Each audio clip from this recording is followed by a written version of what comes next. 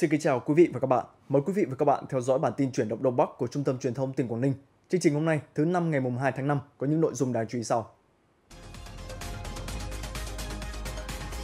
Các điểm đến du lịch sôi động dịp nghỉ lễ.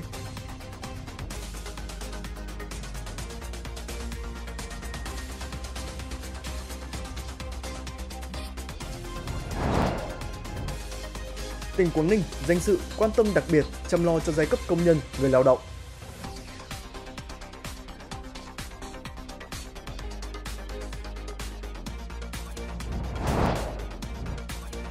Trải qua 70 năm lịch sử, cấp ủy chính quyền và nhân dân tỉnh Điện Biên luôn đoàn kết, đồng lòng, phát triển quê hương từ bãi chiến trường đổ nát thành một địa phương khang trang, hiện đại.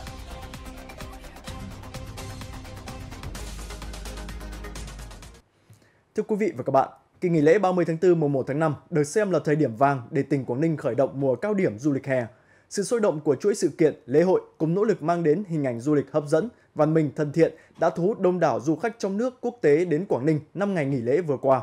Qua đó tiếp tục khẳng định vị thế của du lịch Quảng Ninh là một trong những trung tâm du lịch của miền Bắc và cả nước. Năm ngày nghỉ lễ 30 tháng 4 mùng 1 tháng 5, các điểm đến của Quảng Ninh thu hút hàng trăm nghìn lượt du khách trong nước và quốc tế. Không khí sôi động ở nhiều địa phương, điểm đến trong tỉnh, từ thành phố đến hải đảo, từ miền xuôi đến biên giới. Nhiều nhà hàng, khách sạn, tàu du lịch hoạt động hết công suất. Tính riêng tại thành phố Hạ Long, trung tâm du lịch của tỉnh, đón khoảng 530.000 lượt khách du lịch, gấp đôi cùng kỳ năm ngoái. Đặc biệt, cao hơn cả thời điểm trước đại dịch. Trong đó, Vịnh Hạ Long đón khoảng 85.000 lượt khách du lịch trong nước và quốc tế. Tổ hợp vui chơi giải trí săn qua Hạ Long 80.000 lượt, Bảo tàng Quảng Ninh khoảng 39.000 lượt. Những tín hiệu tích cực cho một mùa hè sôi động của du lịch Quảng Ninh. Thứ nhất là ở đây có rất nhiều những cái trải nghiệm, hay nhiều khu vui chơi nữa.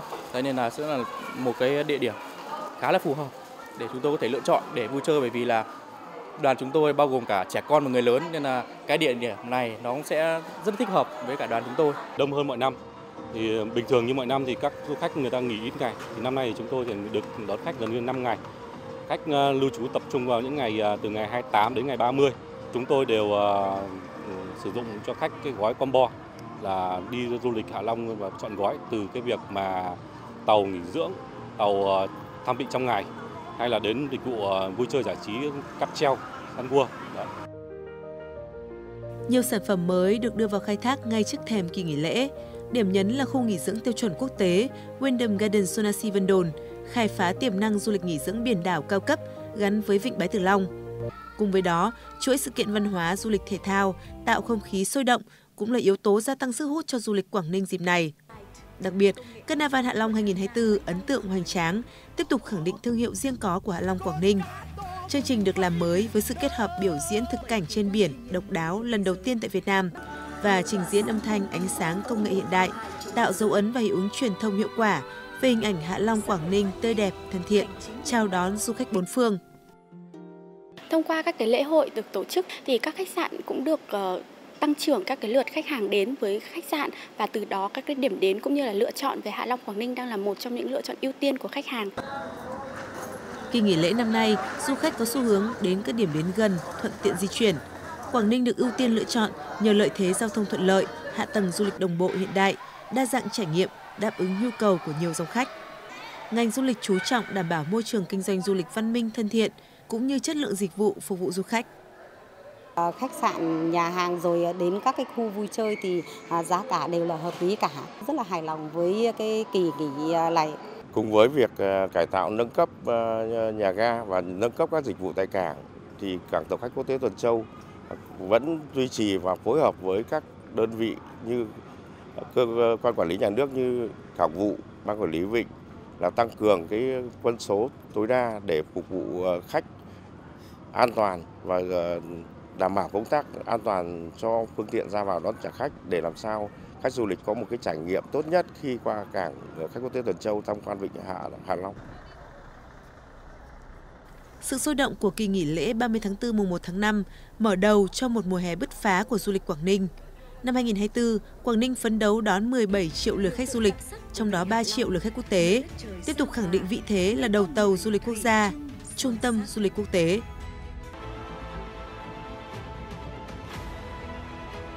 Để tạo thuận lợi cho người dân tham quan tìm hiểu các điểm di tích lịch sử, văn hóa tại các bảo tàng và điểm di tích lịch sử quốc gia đặc biệt chiến trường Điện Biên Phủ, đã miễn phí cho đồng bào các dân tộc trên địa bàn tỉnh Điện Biên dịp nghỉ lễ. Bảo tàng chiến thắng lịch sử Điện Biên Phủ, nghĩa trang liệt sĩ quốc gia A1 cùng các điểm di tích tiêu biểu như đền thờ các liệt sĩ tại chiến trường Điện Biên Phủ, đồi A1, hầm chỉ huy tướng Đờ Cát, tượng đài chiến thắng lịch sử Điện Biên Phủ, tạo thành khu du lịch khép kín trong hành trình tham quan các di tích lịch sử ngay trung tâm thành phố Điện Biên Phủ. Đây là những địa chỉ góp phần phát huy giá trị, ý nghĩa của chiến thắng lịch sử Điện Biên Phủ trong việc giáo dục truyền thống chống ngoại xâm đối với các thế hệ người Việt Nam và công chúng yêu chuộng hòa bình trên thế giới. Điện Biên, vùng đất có nhiều điều đặc biệt. Trải qua những thăng trầm, mảnh đất lịch sử này đã có sự phát triển đáng kể. Rõ nhất là ở thành phố Điện Biên Phủ, trung tâm tỉnh lỵ, nơi cách đây 70 năm là bãi chiến trường đổ nát, nay đã hiện hữu với một diện mạo khang trang, hiện đại. Giữa lòng thành phố này, các di tích lịch sử vẫn được bảo tồn nguyên vẹn, những nét văn hóa truyền thống cũng được gìn giữ. Cấp ủy chính quyền và các tầng lớp nhân dân tỉnh Điện Biên bao năm qua luôn đoàn kết một lòng, chung tay xây dựng quê hương ngày một phát triển. Thành phố Điện Biên Phủ hôm nay, nơi khiến cho nhiều du khách hay những người dân Điện Biên xa quê lâu năm không khỏi ngỡ ngàng khi đến đây vào thời điểm này. Hạ tầng kiến trúc từ tuyến đường to đẹp nhất Điện Biên, đường mùng 7 tháng 5, người dân vẫn thường gọi là đường 60m, đến cảng hàng không Điện Biên, rồi cầu Thanh Bình, và nay thêm cả khu nhà ở đô thị và trung tâm thương mại Vincom Điện Biên đã được xây dựng và hoàn tất.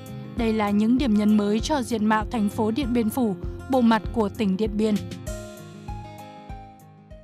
Lần đầu tiên được đặt, đặt chân lên thì cảm giác của mình rất ngỡ ngàng vì khi đặt chân lên thành phố Điện Biên thì mình cảm giác thành phố rất là xinh đẹp, có nhiều uh, tòa nhà cao tầng, quy hoạch là rất là đẹp, văn minh. Để có được diện mạo mới khang trang như hiện nay là cả sự nỗ lực không ngừng của Đảng bộ, chính quyền và nhân dân các dân tộc thành phố Điện Biên Phủ qua các thế hệ trong suốt 70 năm qua.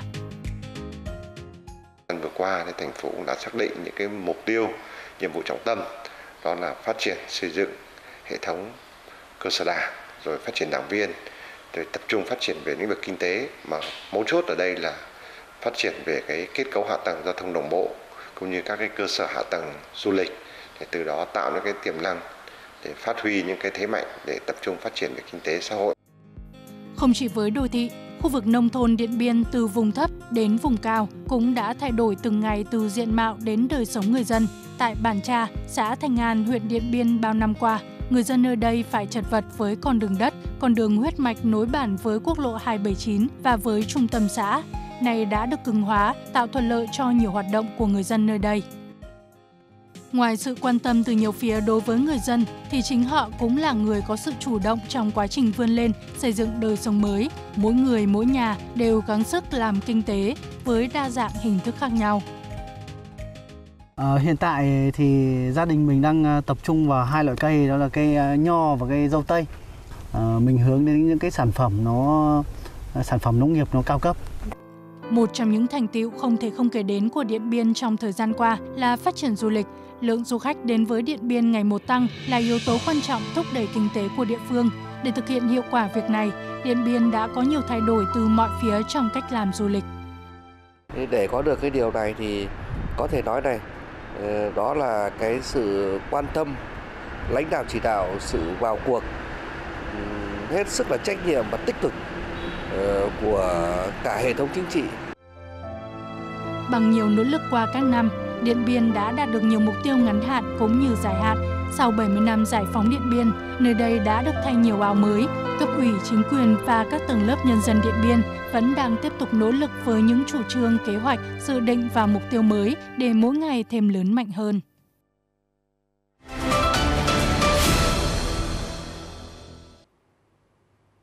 Tiếp nối đà tăng trưởng quý 1, trong tháng 4 vừa qua, tỉnh Quảng Ninh tiếp tục bám sát chỉ đạo, điều hành của chính phủ, thực hiện hiệu quả các mục tiêu kinh tế xã hội. Chỉ số sản xuất công nghiệp tăng 12,17% so với cùng kỳ năm 2023. Trong đó công nghiệp chế biến chế tạo tiếp tục thể hiện vai trò là động lực tăng trưởng kinh tế, tăng 32,55% so với cùng kỳ. Lũy kế 4 tháng đầu năm tăng 38,06%. Lĩnh vực dịch vụ du lịch tăng trưởng ổn định, tổng lượng khách du lịch tháng 4 đạt 1,31 triệu lượt, lũy kế 4 tháng đạt 6,68 triệu lượt. Công tác xúc tiến đầu tư, thu hút FDI cơ bản đạt tiến độ trên 850 triệu đô la Mỹ, bằng 77,3% kịch bản 6 tháng đầu năm. An sinh xã hội được đảm bảo, công tác quản lý nhà nước về quy hoạch, đất đai, tài nguyên và môi trường, chuyển đổi số toàn diện được đẩy mạnh. Trong 2 tháng còn lại của quý 2, tỉnh Quảng Ninh tiếp tục nỗ lực thực hiện mục tiêu tăng trưởng kinh tế, tập trung tháo gỡ khó khăn, đồng hành cùng doanh nghiệp hỗ trợ ngành than, điện, duy trì sản xuất, thu hút du khách trong dịp cao điểm du lịch hè. Đồng thời thúc đẩy giải ngân vốn đầu tư công, nâng cao hiệu lực hiệu quả chi ngân sách, tăng cường các giải pháp đảm bảo an ninh trật tự, an toàn giao thông trên địa bàn tỉnh. Tháng 5 là tháng công nhân, một trong những cái nôi hình thành và phát triển của giai cấp công nhân Việt Nam. Trong những năm qua, Quảng Ninh luôn dành sự quan tâm đặc biệt chăm lo cho giai cấp công nhân, người lao động, đáp ứng yêu cầu của tỉnh trong công cuộc trở thành một tỉnh dịch vụ, công nghiệp hiện đại, một trong những trung tâm phát triển năng động toàn diện của phía Bắc. Là ngành công nghiệp giữ vai trò quan trọng trong phát triển kinh tế xã hội của tỉnh. Hiện nay số lao động ngành than có khoảng trên 80.000 người, trong đó có rất nhiều lao động từ các tỉnh thành trong cả nước đến làm việc tại các đơn vị ngành than. Với sự chỉ đạo của tỉnh, trong những năm qua, Tập đoàn Công nghiệp Than khoáng sản Việt Nam đã nỗ lực không ngừng nhằm nâng cao chất lượng đời sống vật chất tinh thần cho thợ mỏ, giúp những người thợ mỏ yên tâm gắn bó lâu dài với đơn vị. Bằng những công trình ý nghĩa như nhà nghỉ dưỡng sau ca làm việc, các khu tập thể công nhân được xây dựng khang trang, cùng nhiều hoạt động thiết thực chăm sóc sức khỏe, không chỉ giúp thợ mỏ yên tâm lao động sản xuất mà còn góp phần tạo nên nét văn hóa riêng có ở vùng than, nơi những người thợ mỏ đến từ nhiều miền quê khác nhau đã chọn Quảng Ninh là quê hương, ngôi nhà thứ hai của mình. Đi xây rừng làm chúng tôi đi đến công ty là thành một giấc, sau đi về là cũng đủ một một giấc thì đảm bảo cho sức khỏe chúng tôi đi làm có thêm thời gian nghỉ ngơi yên tâm công tác hơn. Nói chung ở nhà làm sao có những cái điều kiện như thế được. Nên ở đây thì là ban giám đốc đã tạo điều kiện cho anh em mọi coi như là các cái dụng cụ để rèn luyện sức khỏe để cho sản xuất lao động ngày một hăng say. Trên địa bàn tỉnh hiện có hơn 20.000 doanh nghiệp đang hoạt động với trên 500.000 lao động. Cùng với ngành than, lực lượng công nhân chủ yếu tập trung ở các khu công nghiệp trên địa bàn tỉnh. Trong chiến lược phát triển công nghiệp xanh, công nghiệp sạch, công nghệ cao, công nghệ thông minh thân thiện với môi trường, cùng với việc thu hút các nhà đầu tư chiến lược nhằm đảm bảo việc làm ổn định cho công nhân, người lao động, thì việc xây dựng các khu nhà tập thể cho người lao động với đầy đủ các thiết chế đời sống đã được tỉnh và các đơn vị doanh nghiệp quan tâm đầu tư. Tôi là người Lạng Sơn, thì tôi đang thuê ở thuê nhà ở Tuần Châu và hàng ngày thì tôi đi đến công ty bằng xe của công ty đưa đón. Khi mà công ty xây xong ký túc xá thì tôi có thể ở lại ký túc xá. Khi mà ở lại thì tôi cảm thấy là mình sẽ rút ngắn được thời gian đi lại đến công ty và cũng như là uh, quá trình sinh hoạt nó thuận lợi hơn. Thực hiện mục tiêu phát triển vì hạnh phúc của nhân dân, trong đó có công nhân, viên chức người lao động luôn được tỉnh hiện thực hóa ở từng bước đi, thể hiện trong từng quyết sách, hành động của cơ quan nhà nước nhằm hướng đến những tiêu chí cơ bản là người dân được sống ổn định, an toàn, ấm no, tự do hạnh phúc trong một môi trường xã hội văn minh lành mạnh, có trật tự kỷ cương, an ninh an toàn, văn hóa phát triển. Trong đó chú trọng chăm lo bảo vệ quyền và lợi ích hợp pháp cho công nhân viên chức người lao động. Đây chính là yếu tố để đảm bảo sự phát triển bền vững cả trước mắt và lâu dài của tỉnh.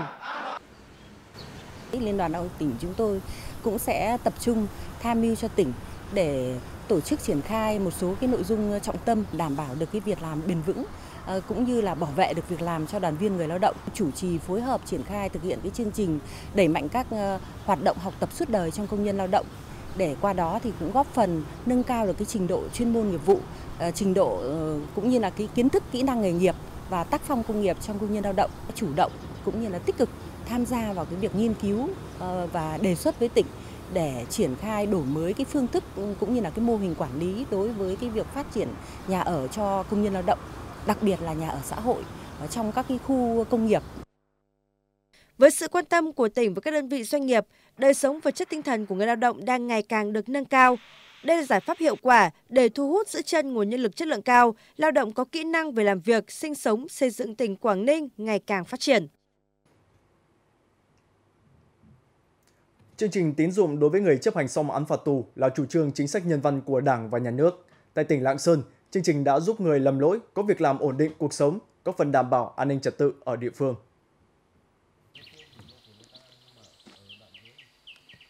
Sau khi chấp hành xong án phạt tù, anh Thắng ở xã Y Tịch, huyện Chi Lăng, tỉnh Lạng Sơn được Ngân hàng Chính sách Xã hội cho vay 60 triệu đồng.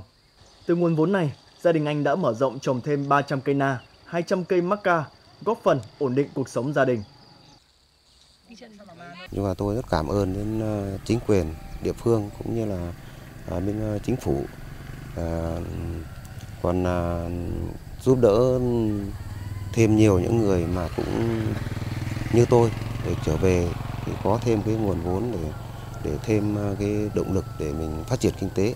Thì công an xã cũng đã tổ chức giả soát và lập danh sách những người chấp hành xong án phạt tù đủ điều kiện vay vốn để tham mưu với Ủy ban nhân dân xã đề nghị ngân hàng chính sách cho vay vốn. Sau khi người chấp hành xong phạt tù được vay vốn thì đã sử dụng để đầu tư vào lao động sản xuất, ờ, phát triển kinh tế gia đình. Hiện nay, trên địa bàn thành phố Lạng Sơn có 6 trường hợp người chấp hành xong án phạt tù trở về địa phương đã được vay vốn của Ngân hàng Chính sách Xã hội để phát triển kinh tế hộ gia đình với tổng số tiền 550 triệu đồng. Mục đích sử dụng chủ yếu là phát triển kinh doanh dịch vụ, chăn nuôi trang trại. Tôi ờ, cũng được hỗ trợ vay vốn và tôi đã áp dụng vào cái công việc thực tế của mình. Tôi đã dần từng bước để ờ, công việc đã tốt trở lại và Ờ, mọi cái cũng đã dần ờ, hòa nhịp với cuộc sống. Đến thời điểm hiện nay thì chi nhánh Ngân hàng Chính sách Xã hội tỉnh đã triển khai cho vay được ờ, 82 người chấp hành xong án phạt tù để trở về địa phương phát triển kinh tế hộ gia đình với tổng số tiền là 7 tỷ 245 triệu đồng. Thì đối với cái nguồn vốn tín dụng ưu đãi đối với người chấp hành xong án phạt tù cũng đã giúp cho họ có việc làm và thu nhập ổn định tự tin tái hòa nhập với cộng đồng và có thể nói đây là cái chương trình à, rất là ý nghĩa nhân văn sâu sắc. Người chấp hành xong án phạt tù trở về địa phương phải đối mặt với rất nhiều khó khăn, nhất là khó khăn về việc làm. Thời gian tới, Ngân hàng Chính sách Xã hội tỉnh Lạng Sơn sẽ tiếp tục đẩy mạnh công tác tuyên truyền về chương trình tín dụng cho vay đối với người chấp hành xong án phạt tù, đồng thời phối hợp với chính quyền địa phương, lực lượng công an kiểm tra, giám sát vốn vay, đảm bảo nguồn vốn được sử dụng đúng mục đích, phát huy hiệu quả. Phần cuối chương trình là các thông tin đáng chú ý. Từ mùng 2 tháng 5, các thí sinh đang học lớp 12 sẽ bắt đầu đăng ký dự thi tốt nghiệp trung học phổ thông năm 2024 theo hình thức trực tuyến. Thí sinh tự do đăng ký thi bằng hình thức trực tiếp tại các đơn vị do Sở Giáo dục và Đào tạo quy định. Thời gian đăng ký dự thi đến 17 giờ ngày 10 tháng 5. Bộ Giáo dục và Đào tạo lưu ý thí sinh đọc kỹ các mục và bản hướng dẫn ghi phiếu đăng ký dự thi. Thí sinh đang học lớp 12 thực hiện khai thông tin đăng ký dự thi trực tuyến theo tài khoản được cấp trên hệ thống phần mềm quản lý thi. Kỳ thi tốt nghiệp trung học phổ thông năm 2024 sẽ diễn ra từ ngày 26 đến ngày 29 tháng 6. Thời gian công bố kết quả thi dự kiến vào ngày 17 tháng 7.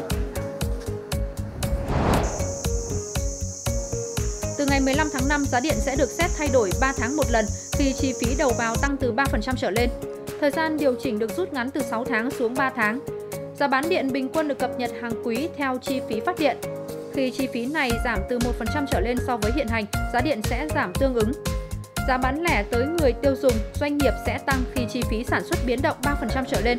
Giá bán lẻ điện bình quân tăng từ 3 đến 5%. EVN được quyền quyết định điều chỉnh. Thẩm quyền tăng giá là Bộ Công Thương khi giá điện bình quân tăng từ 5 đến 10% và trên 10% do Thủ tướng xem xét quyết định. Theo thông báo của Bộ Lao động Thương binh và Xã hội, cán bộ công chức viên chức và người lao động sẽ được nghỉ 4 ngày lễ Quốc khánh năm nay từ thứ Bảy ngày 31 tháng 8 đến hết thứ Ba ngày 3 tháng 9 năm 2024. Đợt nghỉ lễ này bao gồm 2 ngày nghỉ lễ Quốc khánh và 2 ngày nghỉ hàng tuần. Như vậy, công chức viên chức của các cơ quan hành chính, sự nghiệp, tổ chức chính trị, tổ chức chính trị xã hội sẽ được nghỉ tối đa là 4 ngày. Các cơ quan đơn vị thực hiện lịch nghỉ lễ Quốc khánh năm 2024 lưu ý thực hiện bố trí sắp xếp các bộ phận làm việc hợp lý để giải quyết công việc liên tục, đảm bảo tốt công tác phục vụ tổ chức nhân dân. Người sử dụng lao động phải thông báo phương án nghỉ lễ Quốc khánh năm 2024 cho người lao động trước khi thực hiện ít nhất 30 ngày.